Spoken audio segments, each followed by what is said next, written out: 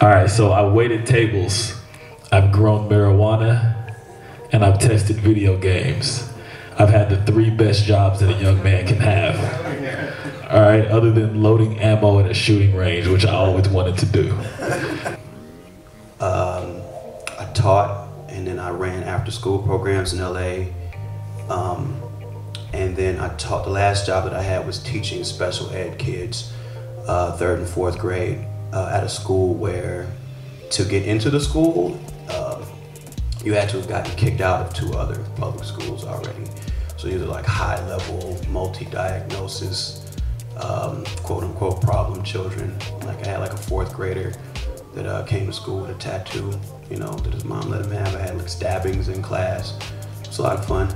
I worked for two weeks as a telemarketer. Actually, I worked for two weeks as a telemarketer after the first time I met Mike Eagle at a show in Milwaukee. I'd um, I'd, I'd, I'd been interested in rap, but like not on a very serious level. And I saw his live setup, and he had an audio interface. And I didn't know what that was or the importance of it. and he told me exactly the make and the model of it. And I didn't have a job at the time. I was in college. And so I got this job as a telemarketer for two weeks just to buy this audio interface. And the day, the day came for with the paychecks, and uh, this woman's name was Heather Miller, and she came in and she was like, "I'm not supposed to do this, but I'm gonna give you guys your checks early today." And um, like everyone was joking, like, wouldn't it be so funny if somebody took this check and walked out? And then I did that. I took the check and I walked out, and everyone laughed, and then I never came back. Like, like, I, like I don't know what they thought happened. Thanks a tiny bit. I'm uh, I'm uh, I'm a bit older than Rory. I'm about 36, so most of my tales span across large spans of time. You know, just you know. So, uh, but when I started, before I started doing music, I didn't have. Bless you. I didn't. I didn't have too many jobs. I worked as a production assistant on a television show for my father's friend. Because my father, he um, came from a pretty uh, well-off home.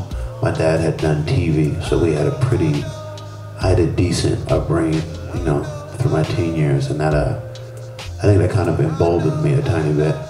And uh, so by the time, which, which also led to more common irresponsible practices in my job.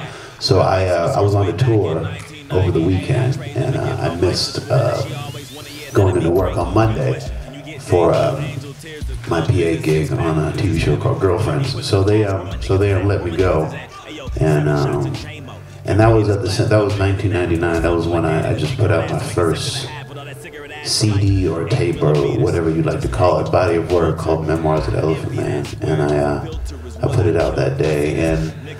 I don't know what I was really known for at that time in rap, but there were a few people who were interested in me, and enough to to make it a kind of big undertaking to put out that little CD. Like some half-ass band of actors, no class, like a dropout, no brass.